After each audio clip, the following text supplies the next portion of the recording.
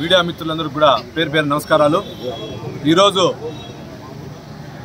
మేము press meet పెట్టాలంటే కూడా మాకే ఒక భారతదేశంలో ఒక పౌరుడిగా దీనిపైన ప్రెస్ మీట్ పెట్టి మాట్లాడాలంటే మాకే అసహ్యం వేస్తూ ఉంది ఎందుకంటే ఒక నికృష్టుడు ఒక దౌర్భాగ్యుడు ఒక వెధవనార వెధవ ఒక పరుంబోకు నా కొడుకు ఊర్లో ఎవరికి పుట్టినాడో తెలియని వ్యక్తి అయినటువంటి కొడాలి నాని ప్రతిసారి అతను పోయినటువంటి ఉద్యోగం తీసుకునే దానికి మా అధినేత పెద్ద అయినటువంటి నారా చంద్రబాబు నాయుడు గారిని నారా లోకేష్ గారిని సభ్య సమాజం చీత్కరించే విధంగా అతను మాట్లాడుతున్నాడు.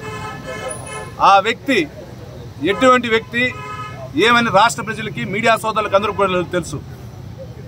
ఈరోజు ఎమ్మెల్యే పదవిలో ఒక నాయకుడిగా ఉన్నాడంటే దానికి కారణం ఎవరు? రాజకీయ భిక్ష పెట్టింది ఎవరు? ఎవరి వల్ల నీకు ఈరోజు టికెట్ వచ్చింది? రెండుసార్లు ఎమ్మెల్యే అయ్యావు. ఎమ్మెల్యే అయిన తర్వాత గుడివాడ చరిత్రలో ఆ రోజు ఉన్నటువంటి రావి శోభనాథీశ్వరు గారు కాదని నీకు ఇవ్వటం జరిగింది. ఎందువల్ల ఇవ్వటం జరిగింది? ఒకసారి ఆలోచించాలి నికృష్ణ నా కొడక. నీకంటే ఘోరంగా మాట్లాడే పద్ధతి పదాలు మాకు బాగా తెలుసు. మేము ఇన్ని రోజులు మాట్లాడకూడదు అని ఆ ఉద్దేశంతో మా అధినేత మా పెద్ద ఆయన మాకు అటువంటి పదాలు మాట్లాడకూడదు అనే ఉద్దేశంతో నేర్పించాడు కాబట్టి మేము ఇన్ని రోజులు మాట్లాడాల. నీకంటే కూడా రాయలసీమలో చిత్తూరు జిల్లాలో ఇంకా ఎక్కువగా బూతులు మాకొచ్చు. అసలు నువ్వు ఎవడికి పుట్టినావని ఆలోచించరా నికృష్ణ నా కొడక?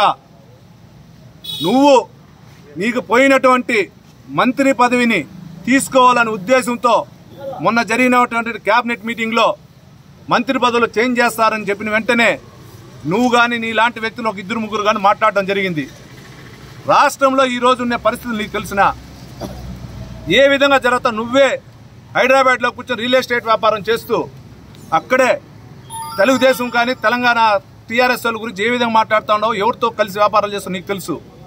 కానీ ఈరోజు ఆ పదవి కోసం నువ్వు మాట్లాడే పద్ధతి నీ ఇంట్లో ఉన్నటువంటి మేము తిట్టకూడదు అక్కా చెల్లెల్లాగా ఉన్నటువంటి మీ ఇంట్లో ఉన్న స్త్రీలు కూడా అసహించుకునే పరిస్థితి ఈరోజు ఉంది. నిన్న దేవినేని ఉమాగారు కూడా చెప్పడం జరిగింది. అదేవిధంగా సోషల్ మీడియాలో కూడా మీరు చూస్తుంటారు. గుడివాడ నియోజకవర్గం పేరు చెప్పిన వెంటనే బయట ఉన్నటువంటి ఎన్ఆర్ఐలందరూ అసహించుకుంటున్నారు. ఇటువంటి వ్యక్తికి మనమందరూ ఎమ్మెల్యే పదవి ఇవ్వటం చేత అన్ని పార్టీలు కలిసి ఇటువంటి వ్యక్తిని రాష్ట్రంలోనే ఉండకుండా వెళ్ళేయాలి అనే ఉద్దేశంతో మాట్లాడుతున్నారు. ఇంకైనా నీ పద్ధతి మార్చుకోవాలి నికృష్టు విధవా? లేదంటే ఇంకా దీనికంటే ఘోరంగా మేము కూడా రాబోయే కాలంలో మాట్లాడతాం. మేము కాదు మా కింద ఉన్నటువంటి